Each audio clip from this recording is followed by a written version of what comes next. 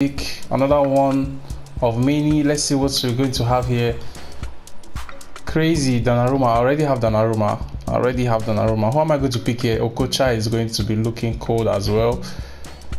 I don't know if for Reus, but I had Reus before. He wasn't really looking sharp, so I'm going to pick Okocha.